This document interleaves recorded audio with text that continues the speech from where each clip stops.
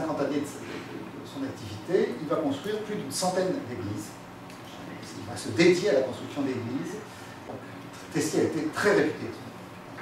L'architecte auquel on s'intéresse là était quelqu'un qui était connu dans tout l'Ouest, pas seulement en, Anjou, il a construit dans l'Orne, il a été appelé par l'évêque d'Angoulême, il a construit un petit peu dans dans au moins sept diocèses qui entourent le diocèse d'Angers l'ampleur de son œuvre. Il a toujours construit en style ogival. Donc ces, architectes euh, de grand talent, euh, j'ai passionné et moderne, entre guillemets, euh, ils avaient la passion, bien sûr, du, Moyen Âge, qu'on redécouvrait à l'époque, mais ils étaient aussi modernes parce qu'ils avaient une approche très, on peut dire fonctionnaliste.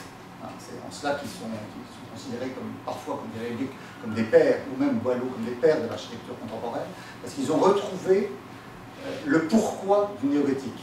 Ils ne s'intéressaient pas seulement à l'esprit euh, gothique, euh, l'esprit médiéval, l'esprit un peu fantaisiste qu'on mettait parfois derrière le, le gothique.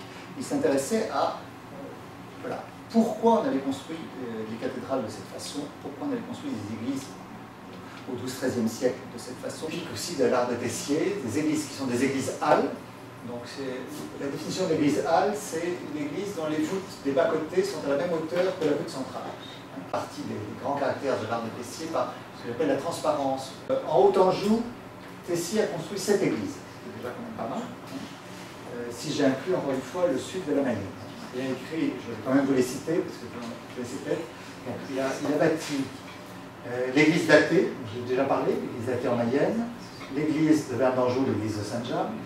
Il a aussi construit l'église de Chambellet, bien sûr, je. L'église de Maran, on en parler un petit peu, Maran qui est pas loin d'ici, hein, qui est représenté en bas à droite, dans l'intérieur.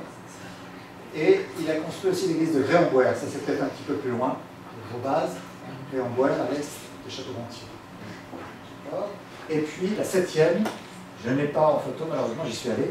Elle est très très très originale, mais bon, c'est difficile à prendre, qui est l'église des, euh, bénédictines de Cran.